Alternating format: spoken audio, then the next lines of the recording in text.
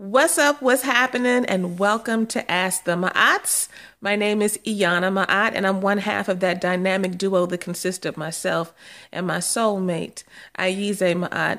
Today, though, I am here flying solo, and I want to speak on something that's been on my spirit lately because I've just been seeing it a lot. I've been uh, seeing it in the questions that we receive, um, and some some things that I've seen said in my in my uh, atmosphere. Just in general, I have been seeing this whole black and white phenomenon. I've been um, experiencing people, uh, particularly in relationships and in marriages and some of the atmospheres I've been in lately, um, operating in this whole rigid thought process, um, absolute thinking. And today, what I want to share with you is this for you to meditate and marinate on absolute thinking, rigidity, inflexibility can and will absolutely it can destroy your marriage. And and and and, and it can kill otherwise healthy relationships that have so much potential and um, you know, I just want to really not go into it too much because we're going to speak on this um, in in the coming future and get into some particular issues that people have sent us where I see this this absolute thinking happening and really kind of delve into those issues to kind of bring home what's going on. But I, I really want people to understand this. Whether you know in your heart when you hear me talking about this and when you saw the title and you clicked on this, mm, I've been guilty of this, or people have have accused me of this, and that's why you clicked on it, or you have a partner who does this, wherever you fall, um, I want you to be able to to take away today what is the underlying issue that's happening when people are engaged in inflexibility, in rigidity. What does it serve, and why is it happening?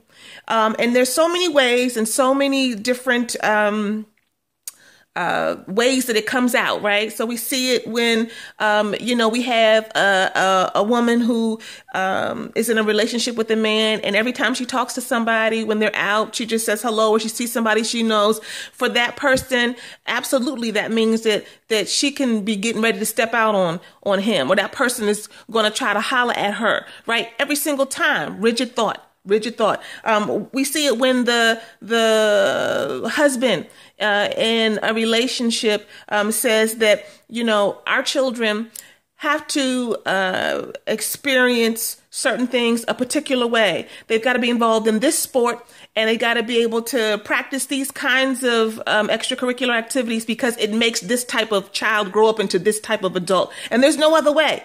Absolute rigidity, absolutely white uh, and black or black and white thinking. We see it um, when we have uh, women who say to their man, you know, this is the way we do it here in this house. I don't get down any other way because this is where my mother did it. And if you go outside of what my mother did um, and what I'm saying we need to do, then everything is going to be messed up. And we will, you know, whatever the situation is, we're just going to be a hot mess.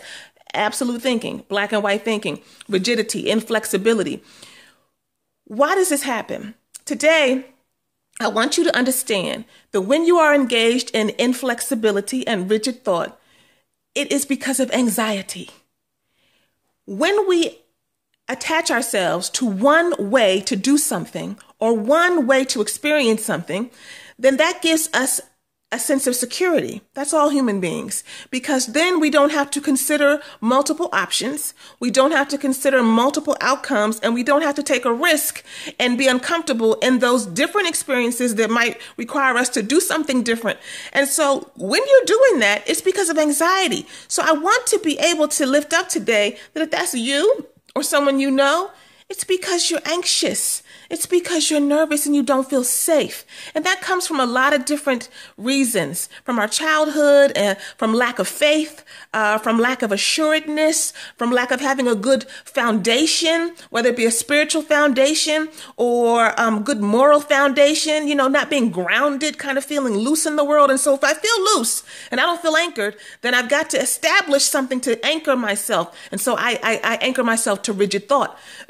And and that's not the solution. And so I want to lift that up because if you're someone who's dealing with someone like that, the, the first thing you want to do when, when someone is really inflexible uh, and they're rigid in their thinking and in their practice and what they want to do, you know, you, you want to slap them upside the head. I know I do. You know, you want to lash out at them. What's wrong with you? But the, the thing that you can do, whether it's you dealing with that person or you dealing with yourself, is, is have compassion.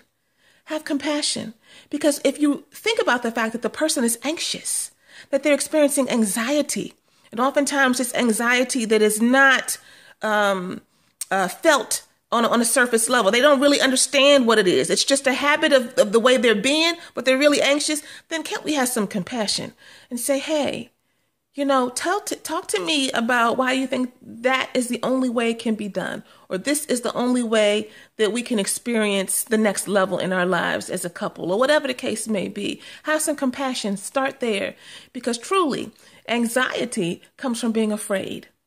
Anxiety and fear come from not feeling safe. And so, if you can provide safety in the context of your relationship, if you can provide safety by being a listening ear and being understanding, then that's the first step to helping someone to take that grip they have on that rigid anchor, that rigid thought, and start to let it go and open themselves up to the fact that, as we always say here, there is more than one way. That's all I have for today, y'all. We're going to come back to this because this is a very seep, a seep, a deep and significant area that I see popping up in all kinds of ways in relationships and I think that we need to address it further. Hope that this has been of help to you, enlightened you a little bit today, made you think about where you need to release control and think about what that's really all about in the first place. But at the end of the day, none of this is going to work if you don't stop playing and start pushing.